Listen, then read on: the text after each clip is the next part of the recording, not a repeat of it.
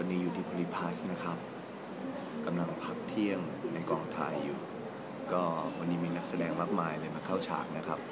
มีโดมีพลอย มีกันกัตถาวร มีน้องแน็กนะครับแฟนฉัน มีอาอีทแล้วก็เย็นๆน่าจะมีนักแสดงมาเพิ่มนะครับ ก็ที่อยู่ข้างหลังผมกำลังนั่งหัวยุ่งอยู่ก็คือน้องแน็กนะครับ Hello แน็ก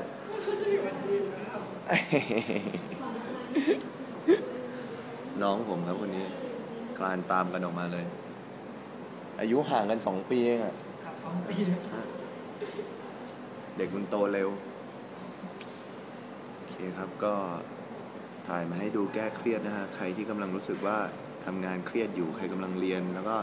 แอบอาจารย์มานั่งดูคลิปผม ก็ขอให้มีความสุขกับคลิปนี้แล้วกัน อย่าบอกทุกๆคนว่าคิดถึงและรักนะ